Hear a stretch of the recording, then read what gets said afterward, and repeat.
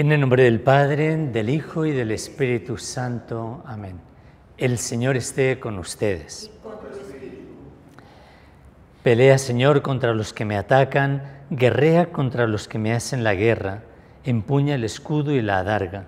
Levántate y ven en mi auxilio, Señor Dios, mi fuerte Salvador. Esta es la antífona de entrada en esta gran Semana Santa que estamos eh, ya empezando desde ayer, eh, Domingo de Ramos, y vamos a disponer nuestro corazón.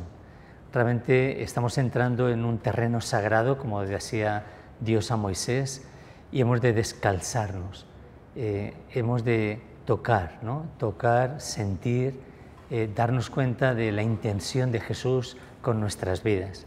De hecho, el centro de la Semana Santa no es ni siquiera Cristo, somos tú y yo o sea, todo lo que vamos a ir contemplando durante esta semana en realidad es por ti y por mí. O sea, esos porqués, porqué de la cruz, el porqué de esa entrega, eh, eres tú y soy yo. Cuando San Pablo dice, me amó y se entregó por mí, ese sería el fruto de esta Semana Santa. O sea, que todo lo que contemplemos no lo hagamos como espectadores, sino que nos metamos como protagonistas y nos demos cuenta que eh, la razón de por qué Jesús da esos pasos, ese amor hasta el extremo, es por amor a ti, por amor a mí, para que despertemos a la vida, para que acojamos esta vida nueva. Vamos a disponer así nuestro corazón, reconociendo con humildad nuestros pecados. Yo confieso ante Dios Todopoderoso y ante ustedes, hermanos, que he pecado mucho de pensamiento, palabra, obra y omisión por mi culpa, por mi culpa, por mi gran culpa. Por eso ruego a Santa María, siempre Virgen, a los ángeles, a los santos y a ustedes, hermanos, que intercedan por mí ante Dios nuestro Señor.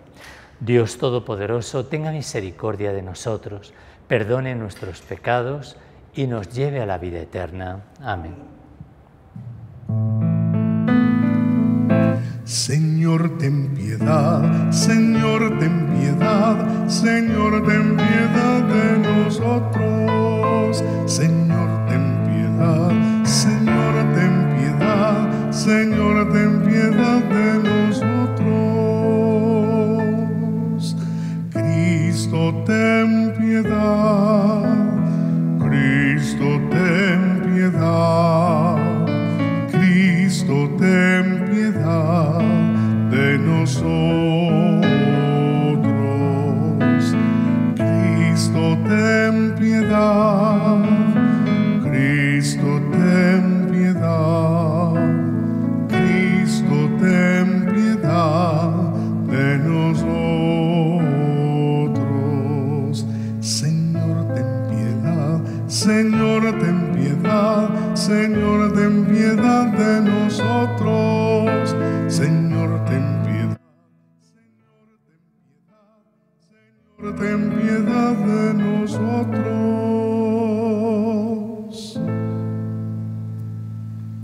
Oremos.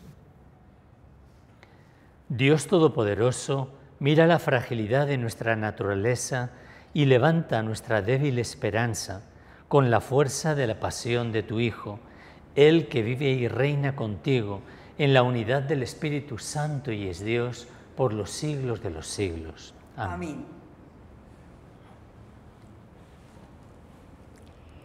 Lectura del libro de Isaías. Miren a mi siervo, a quien sostengo, mi elegido, en quien me complazco. He puesto mi espíritu sobre él, manifestará la justicia a las naciones. No gritará, no clamará, no voceará por las calles. La caña cascada no la quebrará, la mecha vacilante no la apagará manifestará la justicia con verdad. No vacilará ni se quebrará hasta implantar la justicia en el país. En su ley esperan las islas. Esto dice el Señor Dios, que crea y despliega los cielos, consolidó la tierra con su vegetación, da el respiro al pueblo que la habita y el aliento a quienes caminan por ella. Yo, el Señor, te he llamado en mi justicia, te cogí de la mano, te formé e hice de ti alianza de un pueblo y luz de las naciones, para que abras los ojos a los ciegos, saques a los cautivos de la cárcel, de la prisión a los que habitan en tinieblas. Palabra de Dios. Te alabamos, Señor. El Señor es mi luz y mi salvación. El Señor es mi luz y mi salvación. El Señor es mi luz y mi salvación. ¿A quién temeré? El Señor es la defensa de mi vida. ¿Quién me hará temblar? El Señor es mi luz y mi salvación. Cuando me asaltan los malvados para devorar mi carne, ellos, enemigos y adversarios, tropiezan y caen. El Señor es mi luz y mi salvación. Si un ejército acampa contra mí, mi corazón no tiembla. Si me declaran la guerra, me siento tranquilo. El Señor es mi luz y mi salvación. Espero gozar de la dicha del Señor en el país de la vida. Espera en el Señor, sé valiente, ten ánimo, espera en el Señor. El Señor es mi luz y mi salvación. En Dios pongo mi esperanza y confío en su palabra. El Rey salva nuestro, solo tú has compadecido de nuestros errores. En Dios pongo mi esperanza y confío en su palabra. El Señor esté con ustedes. Lectura del Santo Evangelio según San Juan.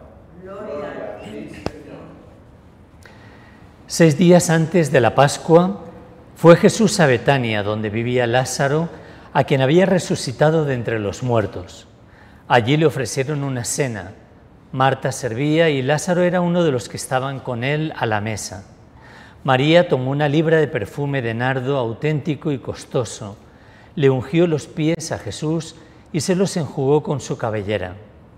Y la casa se llenó de la fragancia del perfume. Judas Iscariote, uno de sus discípulos, el que lo iba a entregar, dice, ¿por qué no se ha vendido este perfume por 300 denarios para dárselos a los pobres? Esto lo dijo no porque le importasen los pobres, sino porque era un ladrón. Y como tenía la bolsa, se llevaba de lo que iban echando. Jesús dijo, déjala, lo tenía guardado para el día de mi sepultura, porque a los pobres los tienen siempre con ustedes, pero a mí no siempre me tienen. Una muchedumbre de judíos se enteró de que estaba allí y fueron no solo por Jesús, sino también para ver a Lázaro, al que había resucitado de entre los muertos. Los sumos sacerdotes decidieron matar también a Lázaro, porque muchos judíos por su causa se les iban y creían en Jesús. Palabra del Señor.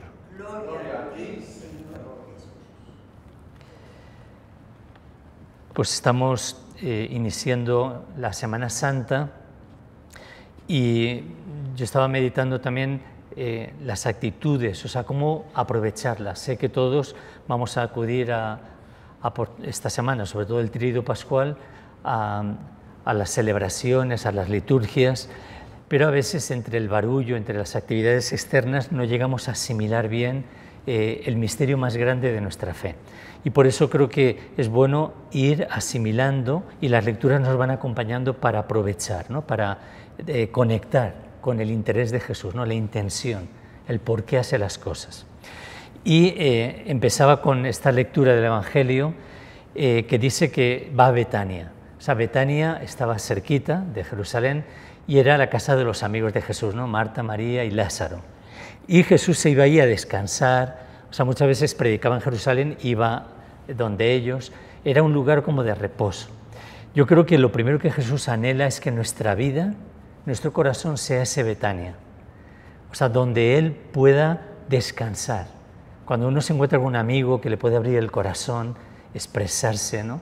Eh, porque sabes que esa persona eh, te acoge, te comprende y, Él está ancho en tu corazón y tú estás ancho en el corazón del otro. ¿no? O sea, Jesús quiere eh, encontrarse así con nosotros. Entonces llega a Betania y ahí están los tres hermanos, pero es muy bonito porque cada uno, desde su forma de ser, se entrega a Jesús. Dice que Marta servía, Lázaro estaba con él a la mesa y María se pone a sus pies y le unge con un, un perfume muy caro. Bueno, entonces cada uno es una, en una faceta. ¿no? En psicología se habla de eh, distintos lenguajes del amor, del afecto, ¿no? cómo expresar el amor y recibirlo.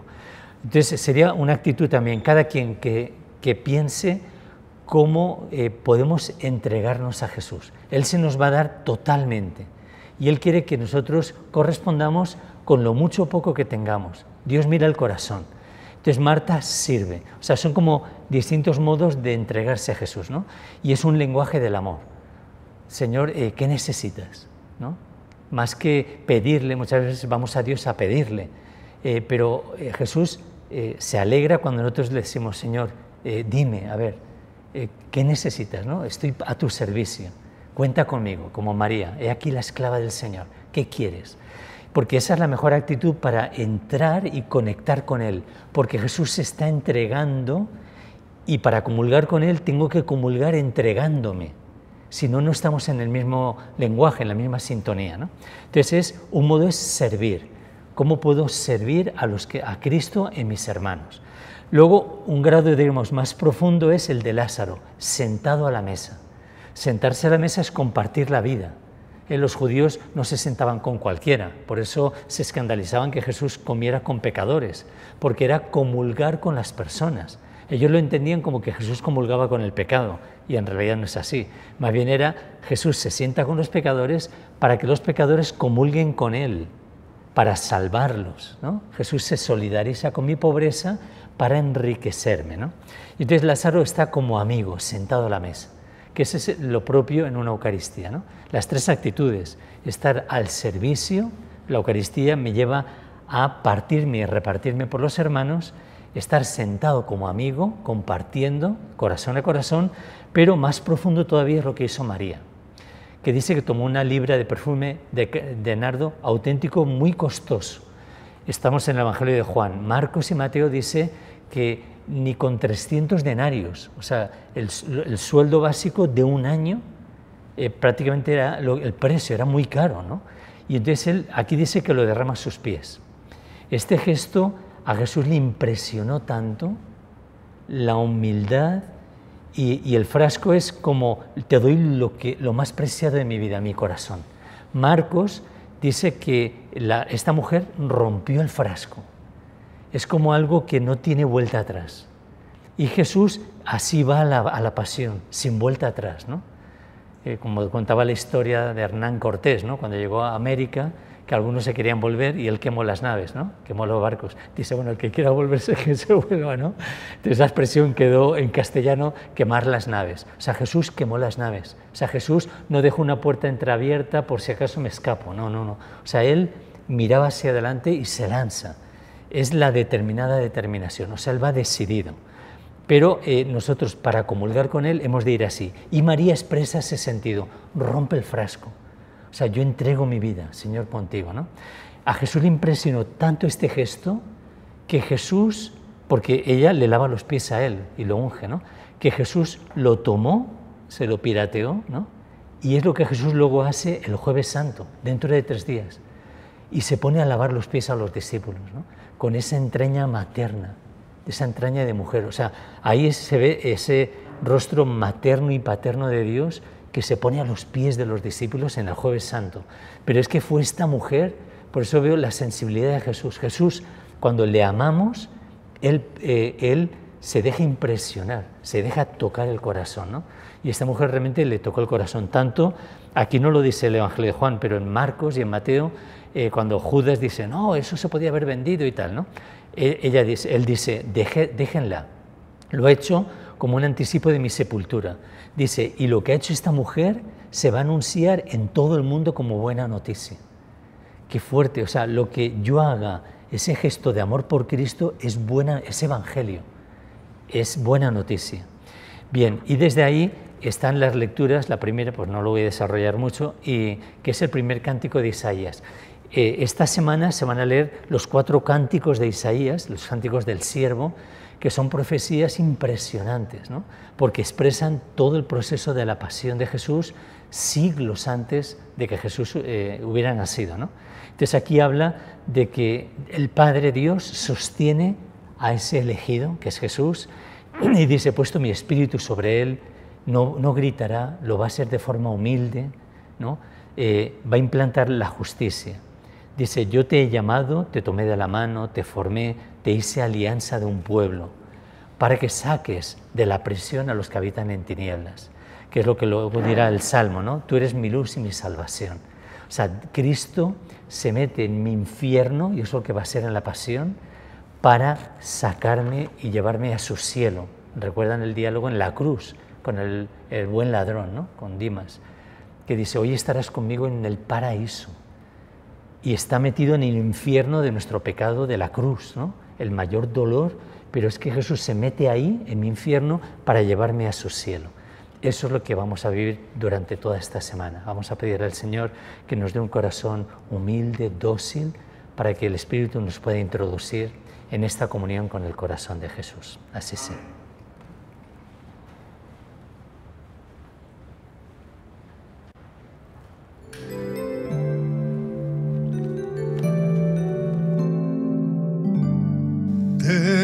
Consagro lo más mío,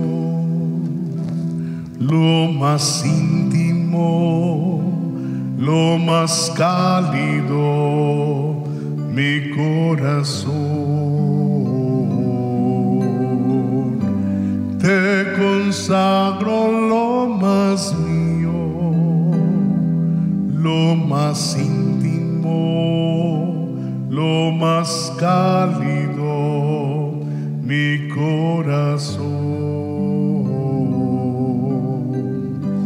El que tú ya conoces, el que no quiere y se revela,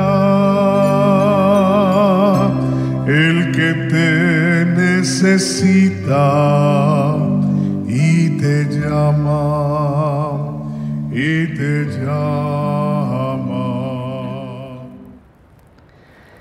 Oremos para que este sacrificio, esta entrega mía y de ustedes sea agradable a Dios Padre Todopoderoso. Recibe de tus manos este sacrificio para la alabanza y gloria de su nombre, para nuestro bien y el de toda su santa iglesia. Mira, Señor, con bondad el sacramento que estamos celebrando y haz que fructifique para la eternidad, pues tu amor providente lo instituyó para perdón de los pecados. Por Jesucristo nuestro Señor. El Señor esté con ustedes. Levantemos el corazón. Demos gracias al Señor nuestro Dios. En verdad es justo y necesario nuestro deber y salvación darte gracias siempre y en todo lugar, Padre Santo, Dios Todopoderoso y Eterno, por Cristo Señor nuestro, porque se acercan ya los días santos de su pasión salvadora, de su resurrección gloriosa. En ellos celebramos su triunfo sobre el poder de nuestro enemigo y renovamos el misterio de nuestra redención. Por eso los ángeles te cantan con júbilo eterno y nosotros nos unimos a sus voces cantando humildemente tu alabanza. Santo, santo, santo es el Señor, Dios del universo. Llenos están el cielo y la tierra de tu gloria. Osana en el cielo, bendito el que viene en nombre del Señor. Osana en el cielo. Santo eres en verdad, Señor, fuente de toda santidad. Por eso te pedimos que santifiques estos dones con la efusión de tu Espíritu, de manera que sean para nosotros cuerpo y sangre de Jesucristo nuestro Señor, el cual cuando iba a ser entregado a su pasión, voluntariamente aceptada, tomó pan, Dándote gracias, lo partió y lo dio a sus discípulos, diciendo, Tomen y coman todos de él, porque esto es mi cuerpo, que será entregado por ustedes.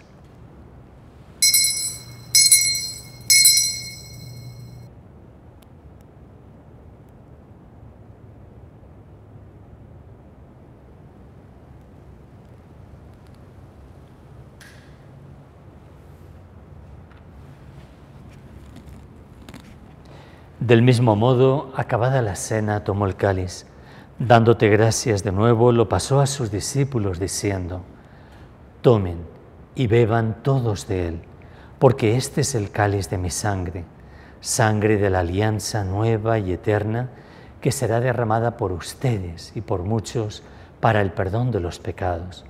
Hagan esto en conmemoración mía.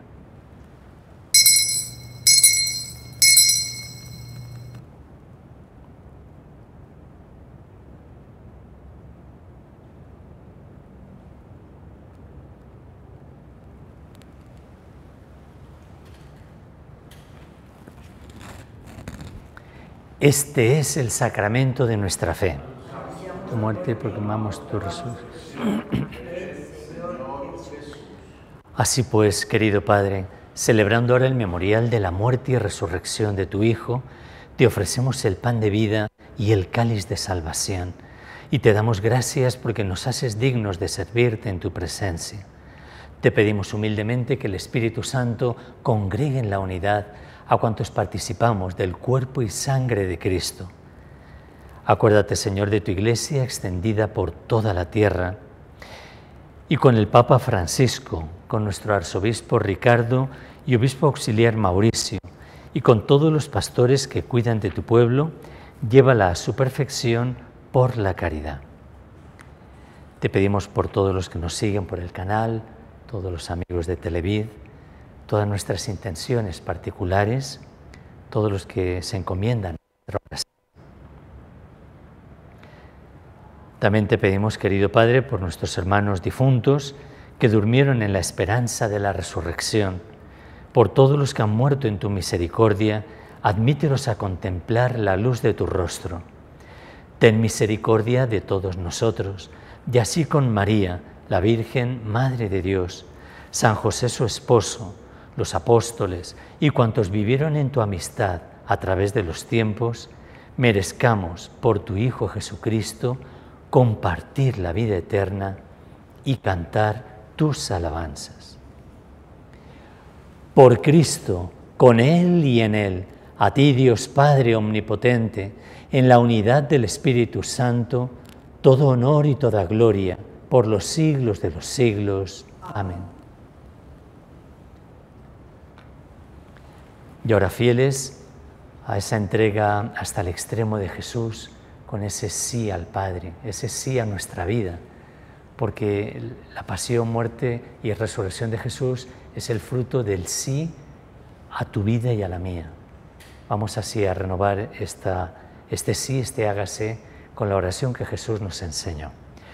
Padre nuestro que estás en el cielo, santificado sea tu nombre Venga a nosotros tu reino, hágase tu voluntad en la tierra como en el cielo. Danos hoy nuestro pan de cada día. Perdona nuestras ofensas, como también nosotros perdonamos a los que nos ofenden. No nos dejes caer en la tentación y líbranos del mal. Líbranos de todos los males, Señor.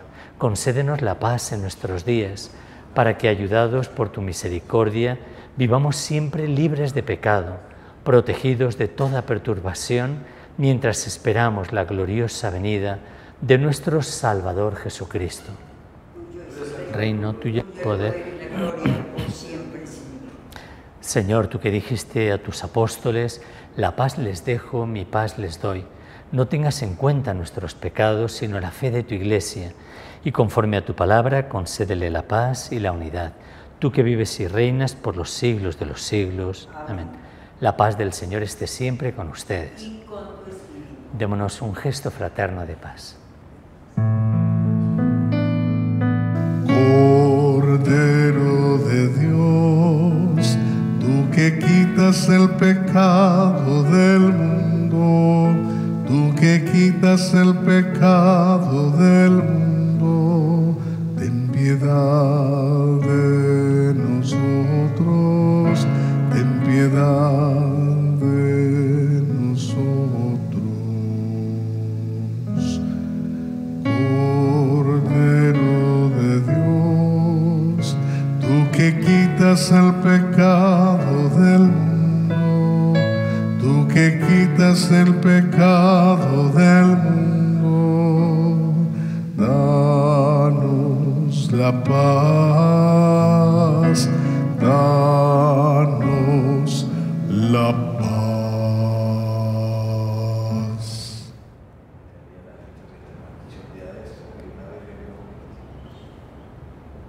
Señor, tú vienes a la Betania de nuestro corazón, donde quieres ser acogido, servido, amado, donde quieres que derramemos nuestra vida a tus pies, donde podamos vivir esa alianza nueva y eterna, acoger tu entrega hasta el extremo. Tú que eres el Cordero de Dios, que quitas el pecado del mundo, dichosos los invitados a esta cena. Señor, no soy digno de que entres en mi casa, pero una palabra tuya bastará para sanarme. Cuerpo y la sangre de Cristo guarden mi alma para la vida eterna. Amén.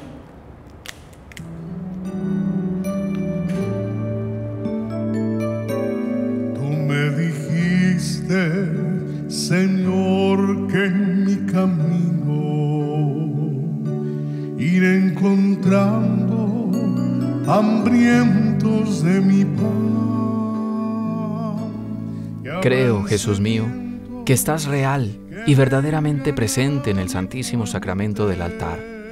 Te amo sobre todas las cosas y deseo vivamente recibirte dentro de mi alma. Pero no pudiendo hacerlo ahora sacramentalmente, ven al menos espiritualmente a mi corazón. Y como si ya te hubiese recibido, te abrazo y me uno del todo a ti. Señor, no permitas que jamás me aparte de ti. Amén. que espera, tú me esperas,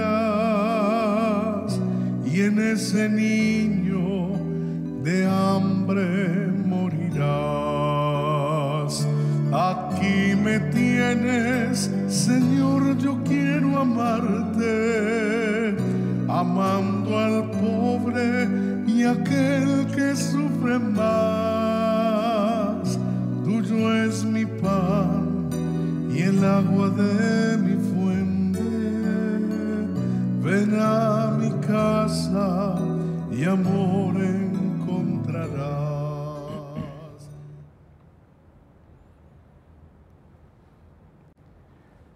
Muchas gracias, Señor, por la delicadeza con la que vienes. Como decías en la primera lectura, la caña quebrada no la romperás, ni esa mecha humeante la apagarás, porque tú partes de, de eso poquito que podamos tener en el corazón para aprender desde ahí un amor nuevo, una vida nueva. Gracias, Señor, por dar un precio tan alto a nuestra vida por ir en directo abrazar y, y tomar nuestra cruz para regalarnos tu vida, tu resurrección. Oremos. Ven, Señor, y protege con amor solícito al pueblo que has santificado en esta celebración, para que conserve siempre los dones que ha recibido de tu misericordia, por Jesucristo nuestro Señor. El Señor esté con ustedes. Y la bendición de Dios Todopoderoso, Padre, Hijo y Espíritu Santo, descienda sobre ustedes y permanezca para siempre. Pueden ir en paz. Demos gracias.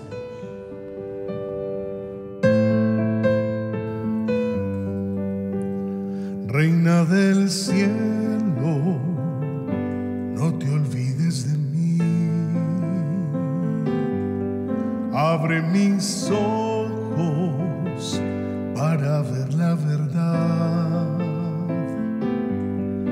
más que mi vida solo sea para amar. Aléjame de aquel lugar, de aquel lugar